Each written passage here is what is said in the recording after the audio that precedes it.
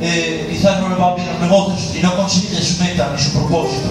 Pero quiero decirle que las cosas espirituales es distinto. Aleluya. Que las cosas de Dios, aquel hombre y mujer que se proponga buscar a Dios, aleluya, Dios responde. Porque sabe lo que dice la palabra del Señor. El que pide recibe, el que busca halla y el que llama se le abre. Amén. En esta tarde quiero decirte que quizás en los proyectos y los propósitos humanos quizás no lo logres o quizás sí, pero quiero decirte que lo espiritual es distinto. El espiritual es sí o sí. El espiritual es si te acercas a Dios, Dios te abre con los brazos abiertos, te recibe. Aleluya. Por eso en esta tarde quiero decirte que no descienda, que no descienda la ilusión. Decía una alabanza, aleluya, que no, no sé quién la cantaba, que no descienda, aleluya la ilusión de predicar. Que no descienda la ilusión de orar, aleluya. Yo digo que no descienda, sino que cada vez vaya más en aumento y que el Señor nos ponga un celo por su presencia, que el Señor nos ponga un celo por las cosas santas de Dios, que el Señor nos ponga un celo por vivir en santidad y que pase lo que pase, caiga quien caiga, pero nosotros, como dijo Josué, mi casa y yo serviremos a Jehová. Que bendito sea el Señor. Aleluya. Amén. No debemos de descender, sino al revés, mirar al autor y consumador de la fe y seguir hacia adelante en el nombre del Señor. Amén. Aleluya. Te adora mi alma. Quizás eh, robe la presencia si uno desciende espiritualmente. Quizás te, te robe la presencia, te robe, aleluya, eh, la relación con Dios.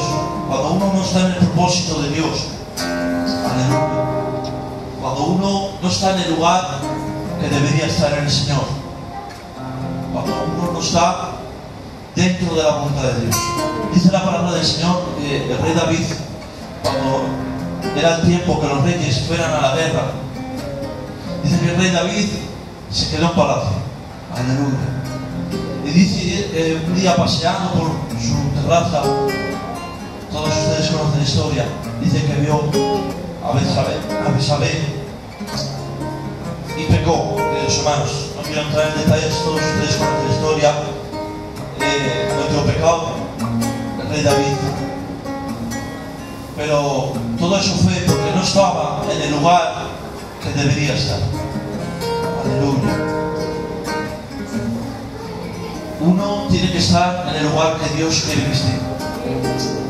En el momento que Dios quiere que. Claro, eso solamente se consigue cuando uno tiene una conexión con el Espíritu Santo.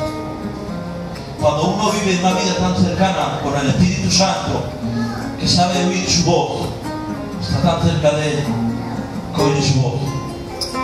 Cuando uno vive una vida cercana al Espíritu Santo, sabe escuchar donde quiere que esté, en el momento que esté en la voluntad de Dios.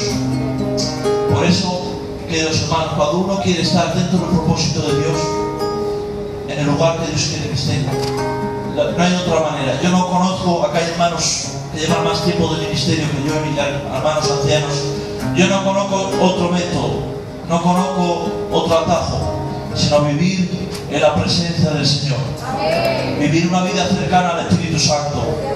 Cuando uno, yo no sé ustedes, pero hablo por mí, cuando uno no está cerca de, de Dios,